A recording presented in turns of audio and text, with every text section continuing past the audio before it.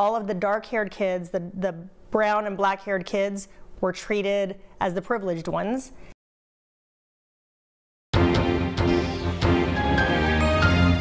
Elementary school, segregated by the color of their hair. The kids in one group were told that they're not as smart as the others. It was supposed to be a lesson on racism, but as News 4 troubleshooter Jaie Avila reports, some parents are furious that neither they nor their kids were told about it ahead of time. The parents we spoke to say they want their children to learn about racism and civil rights, but feel the Northside School District went too far with the segregation experiment and by making students watch a documentary that wasn't age appropriate and some for you. Mike and Brandy Leininger say their 10 year old daughter was confused and hurt by a classroom experiment in January at Leon Springs Elementary. Students were separated according to hair color, with one group receiving preferential treatment. All of the dark haired kids, the, the brown and black haired kids, were treated as the privileged ones, and the blonde haired and the red haired kids were the ones treated not so nicely. The Leiningers say teachers told students children in the fair haired group were not as intelligent.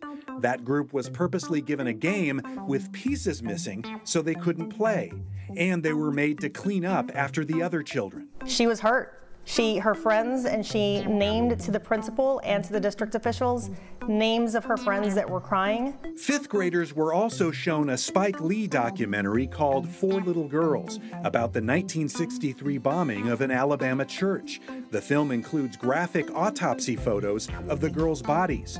The teacher says she fast forwarded past those parts but the Leiningers say the children in their daughter's class did see the photos. The things that she said that she skipped over, my daughter was able to describe to us to a T. So that night, our daughter was unable to go to sleep in her own room. She was scared. Northside ISD declined our request for an interview, but said in a statement the activity and video in question were part of a larger fifth grade project based lesson around the inequity of segregation.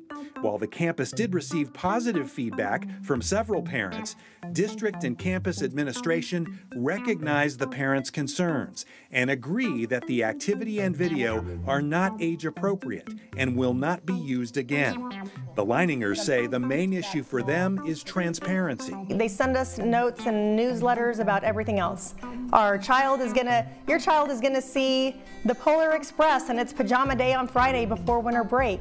And we get no notice that they're gonna do a social experiment on segregation. News 4 spoke to another Leon Springs parent who confirmed the Leiningers' story, but did not want to be identified. The couple says they contacted us because Northside officials have refused to notify parents about the experiment, and some may still be unaware that it took place.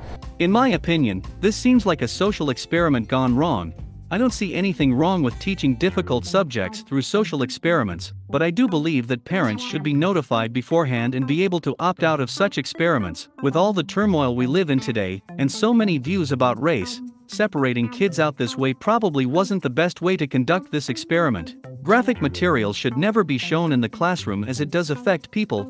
That movie should have never been shown at all and especially without the parents' consent. The fact that the school refuses to notify the parents seems like they are trying to hide this. I wonder if this was a history class or just some wider initiative to promote wokeness. Those are my thoughts. What are yours? Leave them in the comments below. Please share this video for education and awareness. For the Dum Dum News channel, I'm Dum Dum.